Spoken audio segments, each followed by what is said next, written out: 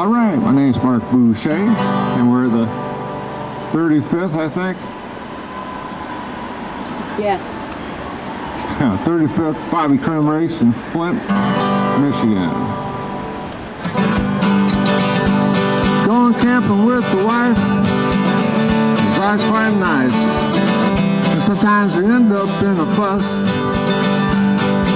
To get us on the road takes half the day, you know. Staying up all night wasn't right. Lots of things was packed. Lots were left back. Hope we don't have to turn around more. It's a four hours trip. Takes us at least six. Maybe we'll make it there before dark. Times like these make up memories. Singing and playing through the night. Times like these, special gifts you see. You make them, make them with your life.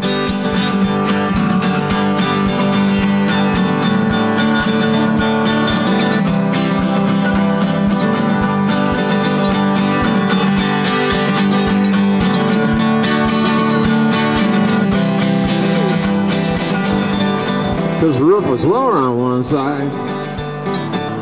And right behind us stood the biggest tree that we could ever climb.